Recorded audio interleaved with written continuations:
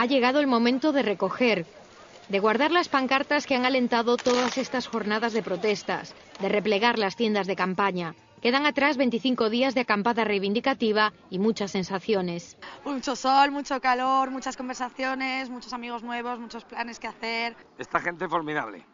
Son, son nuestros, nuestra juventud y con esto se puede ir al fin del mundo.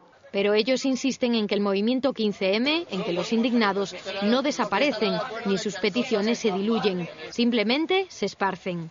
Esto ya ha llegado a su fin y hay que aceptarlo, ¿no? Pero el movimiento continúa, sobre todo en los barrios, por internet, y bueno, es algo un proceso muy lento, ¿sabes? Que es muy importante ir despacio y hacer las cosas bien. Somos un montón y es muy difícil ponerse de acuerdo. Eh, lo que queremos, movernos hacia otros sitios y, y hacerlo como lo estamos haciendo, ¿no? De manera organizada, de manera alegre, porque para nosotros es una celebración. Hora de mirar hacia el futuro de una manera diferente, pero esta es la decisión que han tomado en la Puerta del Sol.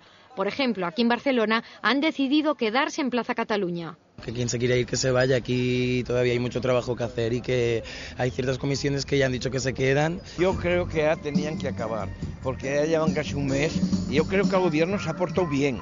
La ambición, dicen, sigue siendo la misma o mayor que en los primeros días. Por eso ya trabajan en la agenda de nuevas movilizaciones.